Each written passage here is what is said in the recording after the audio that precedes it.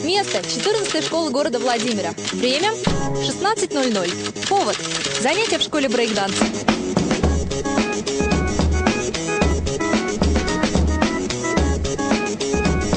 Брейкданс, в первую очередь, танец, то есть движение под музыку, как-то искусство, то есть какая-то своя культура. Какие-то подразделения есть по возрасту, по полу? По полу нет подразделений. Девочки, мальчики, ребята все, но по возрасту уже есть, да, то есть э, я обучаю маленьких ребят, то есть это там с 5 лет до там, 8, да, то есть средняя группа и постарше ребят.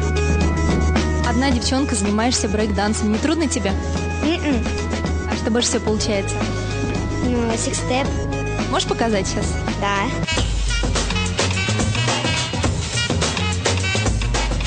Игорь, чем ты занимаешься? Танцуем.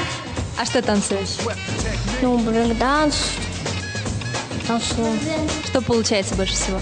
Больше всего у меня получается на одной стоять руке и крутиться. Нужна ли какая-то первичная физическая подготовка, чтобы заниматься брейком?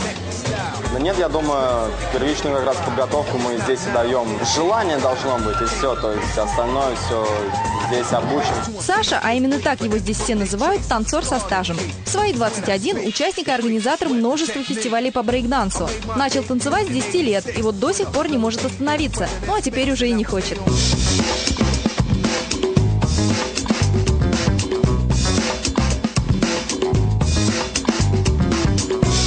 Да нет, не я не считаю себя мастером, вообще не буду о себе особо говорить. Тренируешься, тренируешься, тренируешься, а вроде как бы хочется что-то большего, то есть все равно хочется это и кому-то это показать, э, чтобы еще ребята были, А сложнее с кем? С маленькими или со взрослыми уже?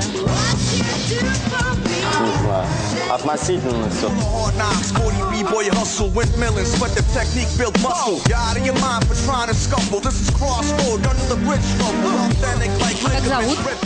Костя, Никита, Семен, Дима. Нравится заниматься брейкдансом? Да. Почему?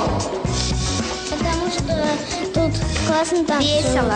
Потому что, потому что развиваешь голову, развиваешь мышцы. Покажи, какие у тебя мышцы. А синяков много? Да. Ну, покажи синяки. У меня на ногах больше всего. Здесь все равно люди занимаются делом, как бы, то есть это как воспитание молодежи, воспитание подрастающего поколения, то есть я думаю, это неплохо. Изюм брейкданса в чем?